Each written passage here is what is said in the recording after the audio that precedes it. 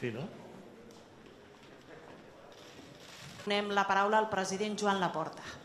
I aquesta agència el que va determinar és que hi havia un, un quadre d'operacions que presentaven pagaments sense causa, pagaments amb causa, però amb una causa falsa, i pagaments desproporcionats.